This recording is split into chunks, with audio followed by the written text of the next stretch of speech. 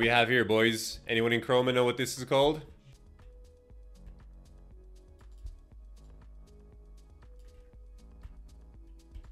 Breaker inside an FVG. Yeah, exactly. What's what's that called? Let me uh let me assist. Hourly breaker. It's an hourly breaker inside an hourly FVG. We call that a unicorn.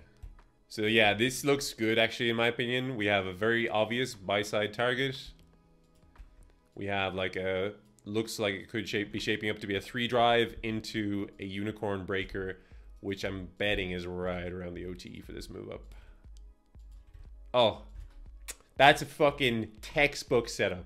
Now this setup could could be worth fucking nothing because BTC decides to die. But on paper, this is one of the prettiest long setups you'll ever see in your entire life. Okay, it ticks every box. It ticks every single box.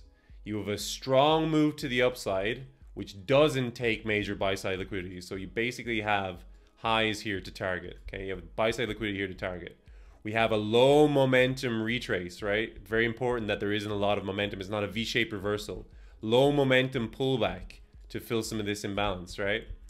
We have what looks like a potential three drive into breaker block inside an FVG, all at the OTE for this move up.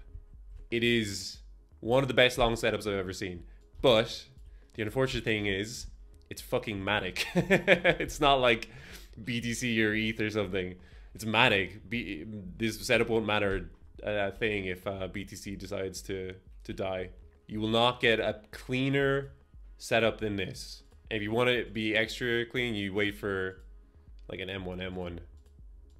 That's the worst M1 M1 I've ever drawn, but you wait for you wait for that, basically. Oh, sorry, this is Eagle. Sorry, sorry, sorry, Eagle. I'm a dum dum. This isn't Matic. Yeah, yeah. Sorry, we did Matic already. This is this is Eagle. That's so funny, man.